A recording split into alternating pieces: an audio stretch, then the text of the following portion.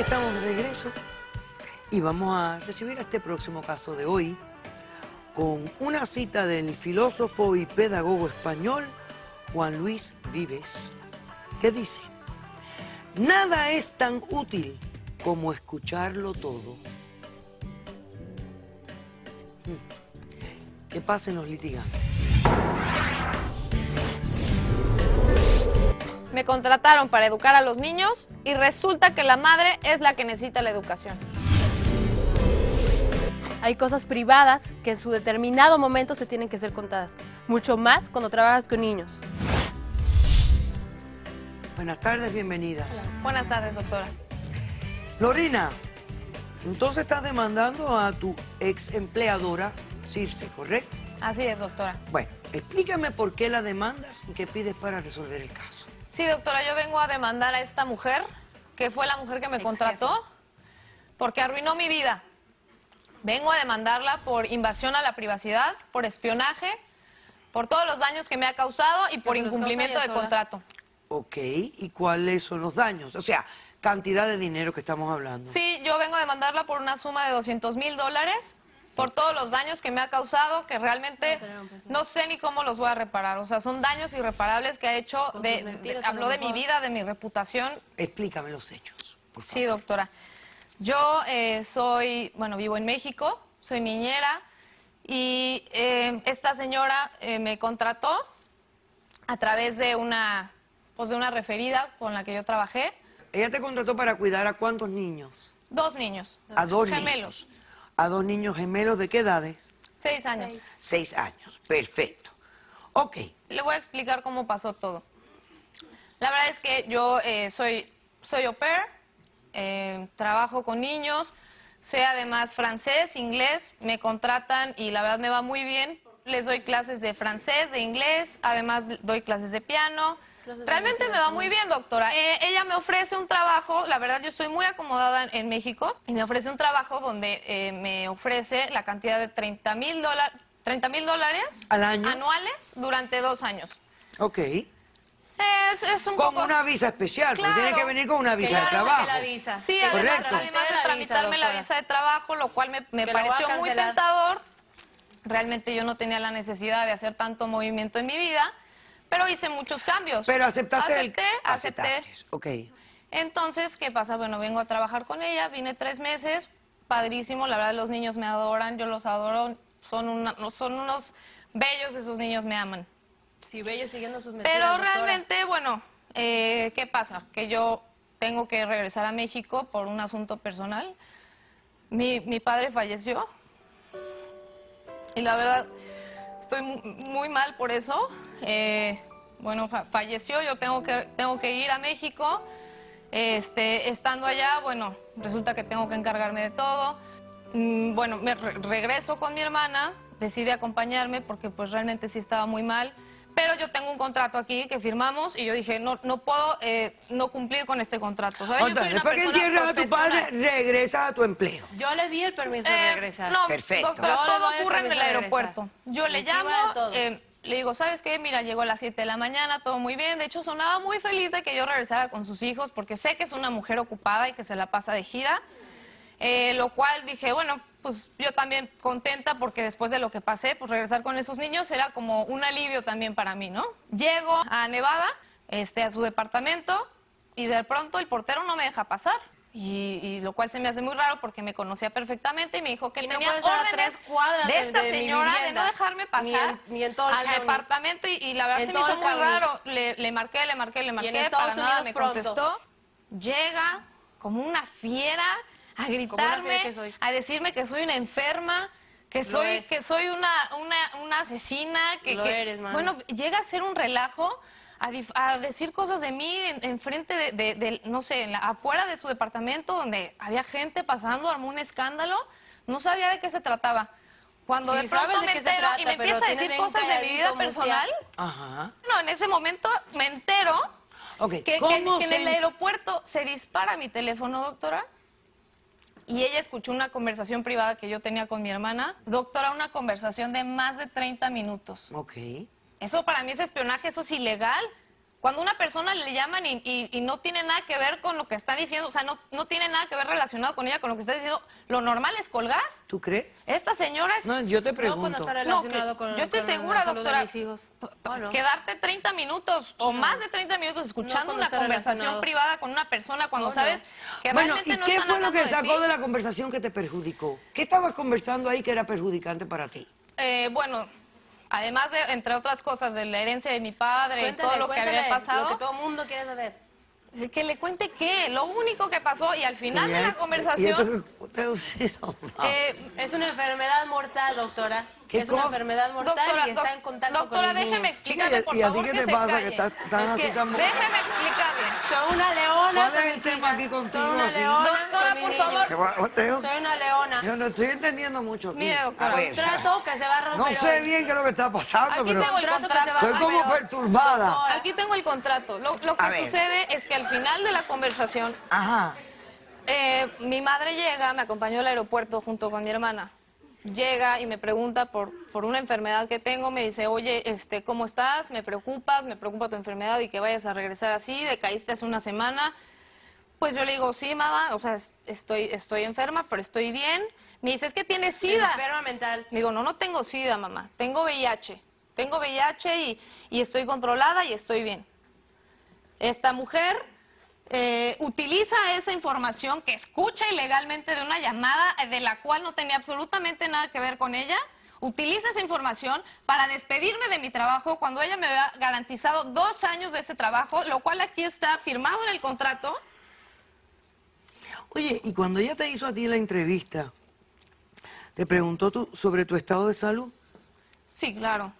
Y tú le revelaste a ella que era VIH positivo. No, doctora, la verdad es que eh, Me lo ocultó. No me lo preguntó directamente y en gente. realidad no es algo que yo tenga que estar contando por ahí. O sea, ¿qué O te sea, preguntó? Que si era saludable. Sí, o sea, me preguntó lo normal de una entrevista, que si tenía alguna, ah, no sé, al- alguna enfermedad Y contagiosa. no te exigió un examen médico ni una carta de un médico diciendo que estabas en perfecta condición. No, en realidad no. Entonces, ¿tú no sientes la responsabilidad de decir que eres VIH positiva aún trabajando con niños, etcétera? Pues no, doctora, No, yo I pienso do. que estamos, bueno, yo tomo mis, precauciones, No, yo tengo mi, o sea, mi enfermedad está controlada. En realidad no es una enfermedad, si usted sabe, es, No, el sí VIH sé. es un virus Sí, yo sé. que realmente no está desarrollado, yo no tengo ninguna enfermedad y no tengo por qué estarlo Si diciendo. tú fueras a tener relaciones íntimas con alguien, revelar- ¿le revelarías a esa persona que eres VIH positivo? Bueno, doctora, yo creo que eso es algo muy personal. Eso es algo muy personal. Eso es un Y no. en realidad, eh, Eso era una pregunta de sí o no. Sí, lo, sí lo haría. Gracias. Vuelve a tu podio. Qué angustia eres. Voy a hacer un corto receso a la vuelta. Me dices cómo respondes a la demanda. Gracias, doctora. Regresamos enseguida. Eso es algo muy personal y Ok. tengo el conocimiento. personal, lo que tú tienes de a decirnos que, que- que mi hermana es una asesina. O sea, ¿cómo puede ser una asesina? Que esté enferma no tiene nada que ver con un- ser una asesina. Mi hermana es una persona decente y esta es una sexoservidora. Es una prostituta. Caso cerrado.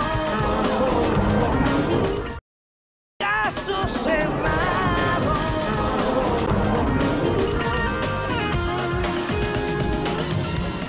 Lorena de- demanda a su ex empleadora Circe por la suma de 200 mil dólares por daños y perjuicios ocasionados por esta cuando ella alega la despidió injustificadamente. Invasión de privacidad y espionaje. El padre de ella se enferma, fallece, ella tiene que ir a México. Cuando regresa, estando en el aeropuerto con su hermana que la vino a acompañar, aparentemente el celular marca inadvertidamente el número de la empleadora, mientras que ella está teniendo una conversación Con su hermana. En la conversación ella estaba revelando ciertas cosas que su empleadora no sabía. Y la empleadora escucha la conversación completa. En esa conversación se revela que ella tiene VIH positivo, algo que la empleadora no sabía. Cuando ella llega al lugar de empleo, esta le cierra todo acceso a la casa, luego la insulta, pone cosas también en las, en las redes sociales. Doctor, acabó con mi carrera profesional. Puso algo en las redes sociales, la nana de mis hijos es una irresponsable que tiene sida. Que y es tiene una sida. mentira. Es porque- una mentira. poner lo que yo No tengo sida. y Tú es- no me has traído récord médico, ¿eh? Ok. Bueno, doctora, pues, ¿Cómo disculpe, respondes no a la demanda? conocimiento, si no yo lo hubiera hablar? traído. ¿Cómo respondes? Gracias, doctora. Eh, quiero responder primeramente con dos cosas. La número uno es una orden de restricción contra esta persona. Nadie Ok. quiere estar La cerca de número- ti, ¿me por dejas supuesto. hablar?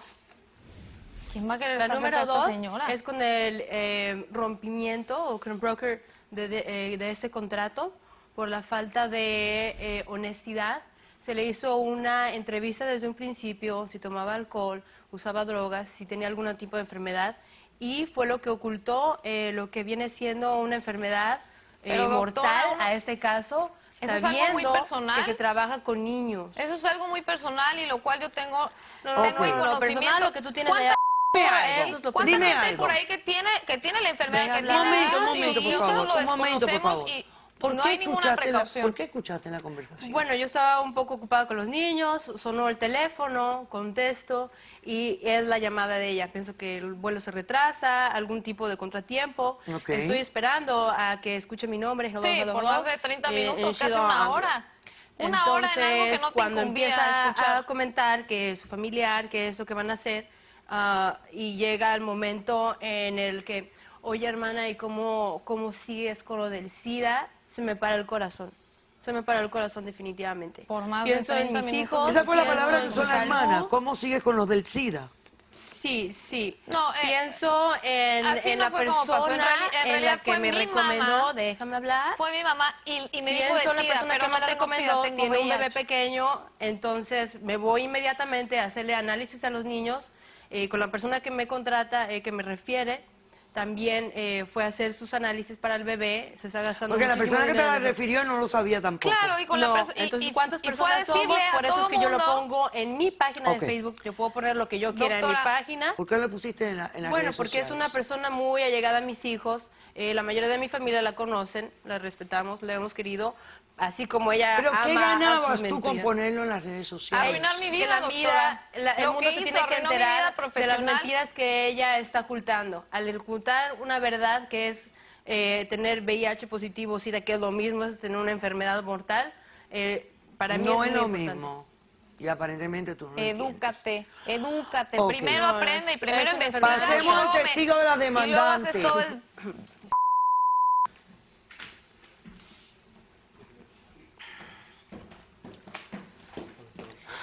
Buenas tardes. Hola, buenas tardes, señora Polo. Oh my God. ¿Tu nombre? Soy Sandra Andrade, vengo con mi hermana Lorena. Esta señora es una bruja. Llega súper agresiva a gritarnos, a decirnos que, que- que mi hermana es una, una asesina. O sea, ¿cómo puede ser una asesina? Que esté enferma no tiene nada que ver con un- ser una asesina. O sea, y entonces, la verdad estábamos muy nerviosas. Porque, o sea, estamos en un país que no es nuestro, que es ajeno, o sea, viene con un permiso especial para trabajar aquí. y Como sabemos cómo están las cosas aquí, o sea, con los mexicanos, la verdad, nos pusimos súper nerviosos. Ok. Entonces hablo con ella y me dice, pues, si me das 20 mil dólares, ¿Qué? ¿Tú estás loca? si me das ¿De 20 dónde mil dólares, yo dejo que ¿Qué ella regrese. O sea, solo le interesa el dinero. Ok. ¿Y qué traes ahí en, ese, en esa...? ¿Cómo Ok. agradecidas son. Mire, ¿cómo, cómo esta señora se puede poner a, a decir cosas de mi hermana que ni al caso? O sea, mi hermana es una persona decente y esta es una vulgar. Sí, decente, O sea, si ve ¿cómo se ha de el número ahí? No. ¿me permites hablar? Si ve el número ahí, ¿Qué, es- qué me estás diciendo? ¿Que ella trabaja ella trabaja, es una sexoservidora. Es una prostituta. Es una prostituta. Eso es lo que eres. Es un show de magia espectacular. Un show de magia. Un, un show de magia, Show de magia. vulgar, ¿no? Por así decirlo. Bueno, si a ellos no les gusta el escote, "Call o me si, papi". no, si no les gusta, todo eso es su problema. Eso no tiene nada que ver con el SIDA y yo mi trabajo lo hago legalmente y limpio Doctora sobre Sida, todo. O sea, sobre esta todo señora limpio. no Tú tienes un testigo, ¿verdad? Esta Sí, señora señora. no Pasemos al entiende. testigo de la demandada. Mi asistente. Buenas tardes. Buenas tardes. ¿Tu nombre? Maelis. ¿Y eres? Yo soy eh, la asistente de Circe. Ok. Eh, trabajamos juntas y yo fui la persona quien le recomendó a esa señora para cuidar de sus niños. Ella cuidó de mi bebé, pero antes de eso, Yo le hice una entrevista con muchísimas preguntas. Yo me encargué de saber, de conocer muchos detalles de su vida antes de entregarle mi confianza. Le pregunté cosas sobre su salud, sobre si tenía algún Nunca tipo de... te reveló que tenía VIH por si- No, es que me mintió en la cara. Esa señora es una mentirosa. Yo recuerdo mundo. perfectamente momento preguntado si En tenía sida. dije Es La palabra mentira. la pronuncié. Ocultar Ok. la verdad Doctora, es Y mentira. La ella- cara me mintió. Y, en ningún- y te, y te lo negó. Me lo negó. Doctora, yo Y trabajé con ella hace más de un año. Yo, tiene doctor ocho meses que me diagnosticaron con VIH, doctora. Yo, en ese momento, yo no tenía conocimiento. Hace ocho meses Bueno, fue que bueno. yo me entero que Volvemos tengo a lo VIH. mismo. Yo no tengo récord es médico tu de tu diagnóstico, por ende, es no puedo determinar en qué momento lo revelaste o La no lo revelaste, que ella tiene etcétera, es tu etcétera. responsabilidad. Ok. Doctora, si yo- Hacemos un corto receso, que a la vuelta hablamos con nuestros expertos y resolvemos este caso. No se vaya. ¿Qué puedo hacer?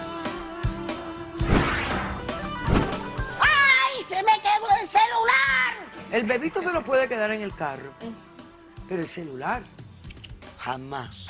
Ella llamó a ella. Las leyes están flojas. Siempre, Y doctora. cuando la ley se interpone a la justicia, ¿quién debe ganar? La justicia, ¿no? La justicia. Caso cerrado. Caso cerrado.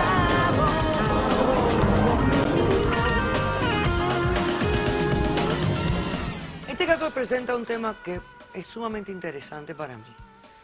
Porque hay gente que le van a decir que hay una invasión de privacidad. Hay otros que van a decir que ella nos reveló toda la realidad, la verdad, ante un cuestionario que le hacían sus empleadoras.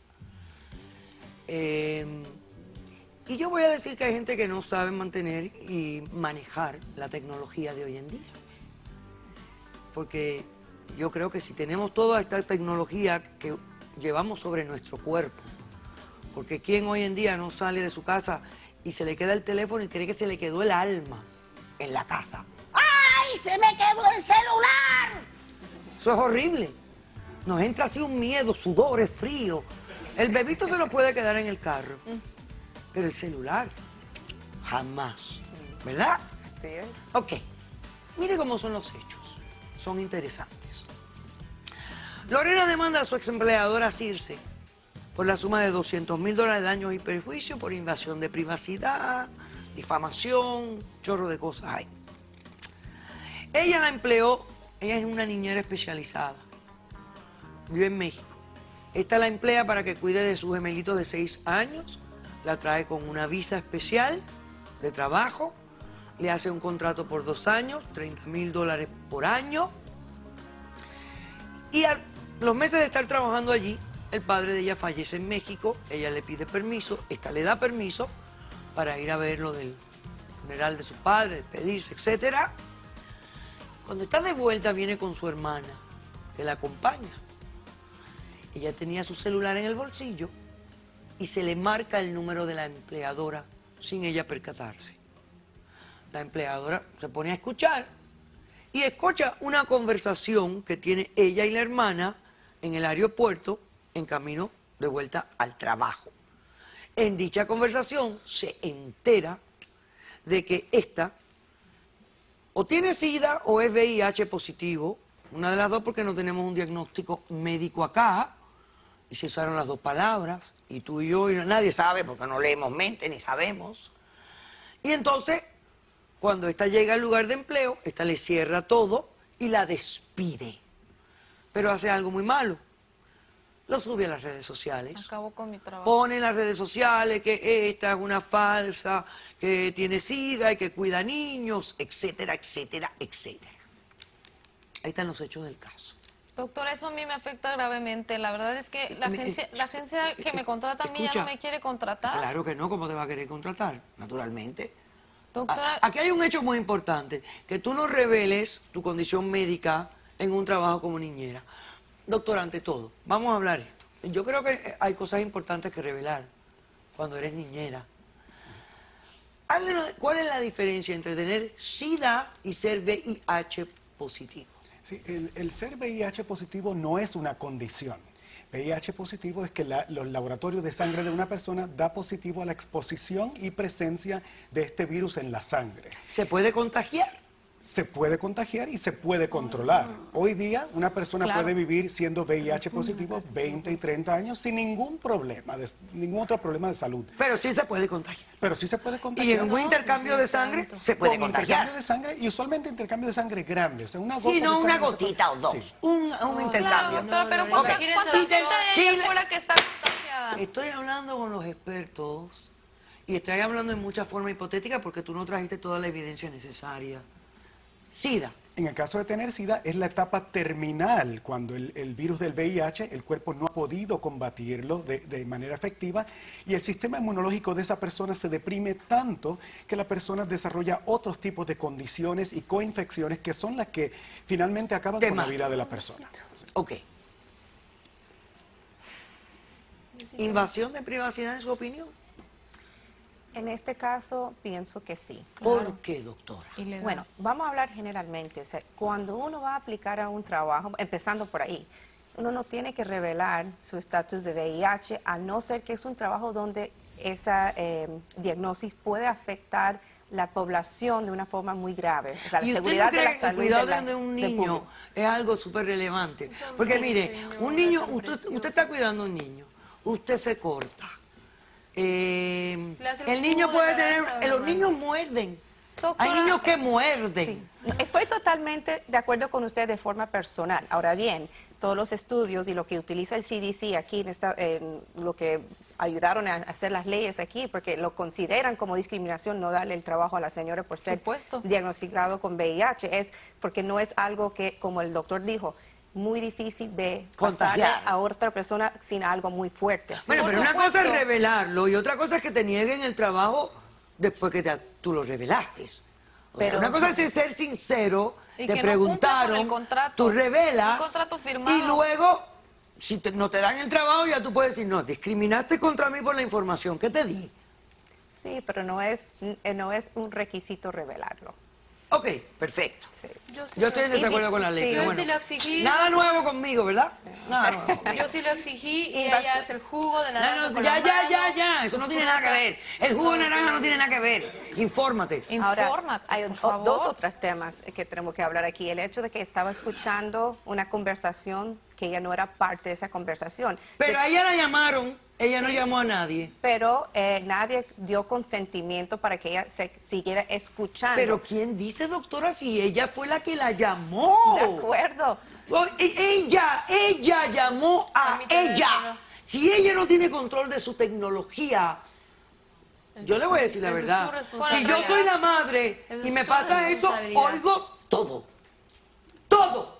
Porque esta es la mujer que cuida a mis hijos. Así es, Pero si aquí le ponen cámara a las niñeras, Doctora, va a ver lo que hacen. Cámaras escondidas. Sí, en la, Entonces, en la casa ¿dónde de está la violación de privacidad? Todo lo que yo platiqué Y en más un aquí principio yo lo fue veo personal. porque ella está publicando Ah, la información Ya, eso donde es la otra gente cosa. busca noticias. Eso es otra cosa, mariposa. Sí. o no, doctora? Sí, sí, doctora. Ahí estoy de acuerdo con usted 100%. Sí, pero yo también creo que un accidente así, con una llamada, cuando ella sabe, mira, no le está diciendo, oye, Lisette, eh, ¿cómo estás? Cuando ella sabe que están hablando, ellas dos, una conversación donde no hay consentir, depende. Hay ¿Y para qué me que llamaste? requiere que ambas ¿Y para qué me llamaste? No la llamó. Tú no sabes controlar tu tecnología. Ese es tu problema. Y si yo quiero que tú escuches, y y, uh, quiero que tú escuches, pero la persona con quien yo estoy hablando no sepa que tú estás escuchando. La Pero gente eso- hace eso eso. es ese es el problema con los estatutos. No van a- hasta esos detalles. Estamos Ah, limitados. doctora, entonces las leyes En fallan. Estados Unidos también. Las Ya. leyes están flojas. Siempre, Y doctora. cuando la ley se interpone a la justicia, ¿quién debe ganar? La justicia, ¿no? La justicia. La justicia. Estoy con usted. Decisión del caso. Yo considero que tu desempleo es justificado. Porque yo, aunque tú no tienes obligación de acuerdo a los códigos y esto y aquello, como niñera, es un trabajo tan delicado con esta persona niños. terminó con mi vida A mí no me importa que tú estés de acuerdo conmigo. No, eso no me interesa. Yo te estoy dando Doctora, mi razonamiento. es- si no te gusta, acuerdo, lo apelas al cielo y a mí no es. Y que, que ella venga a difamar y Te decir concedo cosas de la mí. suma de 100 mil dólares por haber publicado en las redes sociales lo que no tenías que hacer. Porque eso es una falta de tu parte, eso es maldad, difamación, eso es gana de molestar y fastidiar. 100 mil dólares en 30 días. He dicho, caso cerrado. Sea porque ande con cuidado, edúquese lo más que pueda. Respete para que lo respeten y que Dios nos ampare hasta el próximo día. Y gracias.